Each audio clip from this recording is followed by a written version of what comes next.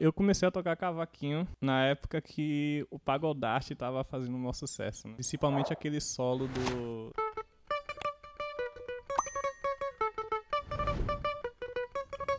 Do Sminofy, né? Então, minha primeira grande referência no cavaco foi Baleia do Cavaco, um super cavaquinista. E eu lembro assim que muita gente tem o, tem um Deco como primeira referência, né? Que é do Harmonia do Samba. É minha, minha referência assim na vida até hoje. E na verdade Deco foi minha segunda referência, porque na época do, do Mandei Meu Cavaco Chorar, eu ainda não tocava cavaco, né? Quando eu comecei a tocar cavaco, já foi na época do, dos Minofá, já foi na época do Pagodarte, já foi na época do Balé do Cavaco. Então, meu primeiro grande desafio, assim, foi conseguir tirar esse solo, sabe? E eu lembro que foi uma época que muita gente lá no Colinas de Pituaçu tocava cavaco.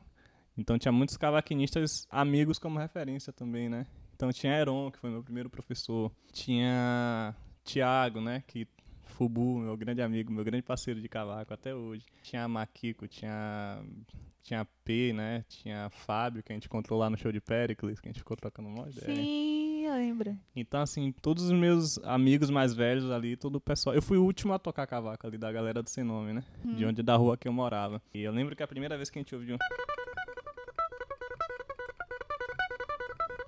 gente ficou tipo, ai meu Deus, isso é impossível de fazer, sabe? E aí ficava estudando isso horas, né? Eu tava bem no comecinho do estudo, assim. Pra mim, solar era muito difícil, assim, né?